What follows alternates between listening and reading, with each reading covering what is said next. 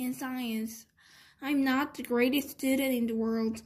I know some kids actually like school, but I honestly can't say I do. I like some part of school like PE and computer class and lunch and recess. But all in all, I'd be fine without school. And the thing I hate the most about school is all the homework we get. It's not enough that we have to sit through class after class and try to stay awake while they fill our heads with all this stuff we will probably never need to know, like how to figure out the surface area of the cube or what difference is between kinetic and potential energy. I'm like, who cares? I've never ever heard my parents say the word kinetic in my entire life. I hate science the most out of all my classes. We get so much work, it, it's not even funny. And teacher Mr. Rub, Mr. Rubin is so strict about everything, even the way we, we write our handings on top of our papers.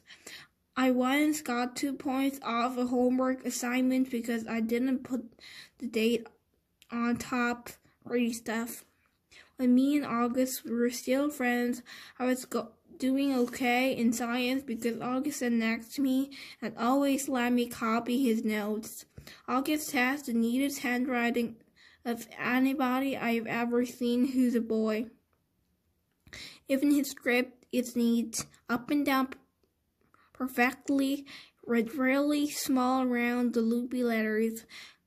But now that we're ex friends, it's bad because I can't ask him to let me copy his notes anymore.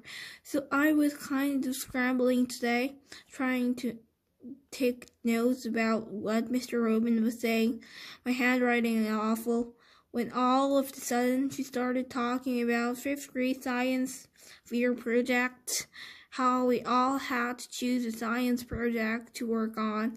While she was saying this, I was thinking, we just finished the freaking Egypt project that we have to start a whole new thing. And then in my head, I was going, oh no, like the kid named Home Alone with the mouth hanging open and his hand on his face. That was the face I was making on the inside. And then I thought of those pictures of melting ghost faces I've seen any somewhere where the mouths were open wide and they're screaming.